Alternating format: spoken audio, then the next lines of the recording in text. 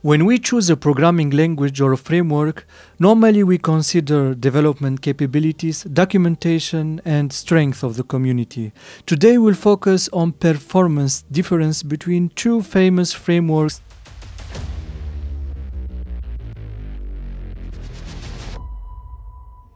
Django with 73,500 stars against the admired Ruby on Rails with 53,600 stars on GitHub using the latest stable Ruby version. I have set up two similar applications with basic database fetching and template rendering on two separate servers with identical specifications. Our test plan involves simulating load of 100 concurrent users that will sum up in a RAM period of 12 seconds and the whole test will last for 15 seconds. We are bench benchmarking response time and error rate and I have set up a JMeter client on each server to collect CPU and memory usage. And we are ready so let's go.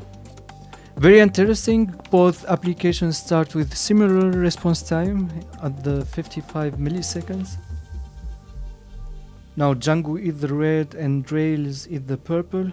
This graph really looks good for both Django and Ruby on Rails. They didn't cross the 1200 milliseconds. Now Ruby on Rails start with better performance and reach something like 300 millisecond performance difference. But at the end, as we add more concurrent users, Python performed better. Django is better performing than Rails here. Now let's navigate to the CPU collector metric. CPU users shows us slightly better performance for Ruby on Rails it reaches 100% CPU usage at the sixth second, whereby Django has reached 100% at the fourth second. Now let's navigate to the memory collector. Now Ruby is the blue and Django is the red.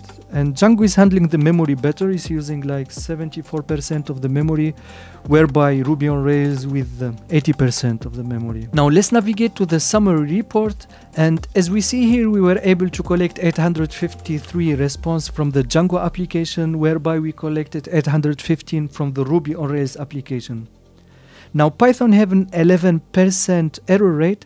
This means from the 853 responses, 11% was not successful, whereby the Ruby on Rails application did not return any error. Ladies and gentlemen, overall Ruby on Rails has performed slightly better. Both applications has performed very well. We were able to respond under 1200 millisecond we are in one virtual CPU server with 1 gigabyte of RAM and for 100 concurrent users this is really good results. And this also confirmed that the Python 3.12 has performance improvement. Now ladies and gentlemen again while today we focused on performance there are so many other criteria to consider.